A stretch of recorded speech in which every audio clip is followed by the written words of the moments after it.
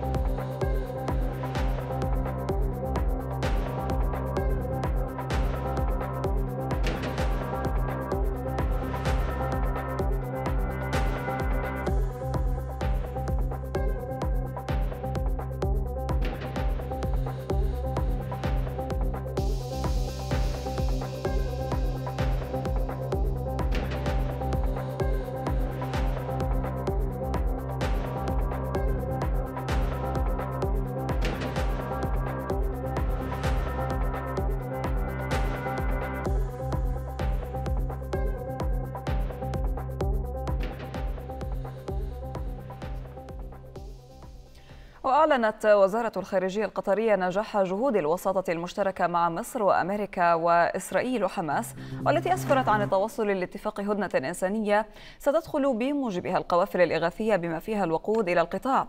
مضيفة في بيان أن أعداد المفرج عنهم في صفقة التبادل بين الجانبين ستزيد في مراحل لاحقة من تطبيق الاتفاق. نقلت رويترز عن مسؤول كبير في الإدارة الأمريكية في عن مزيد من التفاصيل في اتفاق التهدئة حيث يشمل الإفراج عن ثلاثة أمريكيين من بينهم طفلة تبلغ أربع سنوات قريبا أو ستبلغ أربع سنوات قريبا. سيجري تضمينهم ضمن أول المفرج عنهم في اتفاق المحتجزين بين إسرائيل وحماس. ومن بين تفاصيل الاتفاق سيتيح نظام التفتيش الصارم عدم استغلال حماس للهدنة للحصول على المزيد من الأسلحة.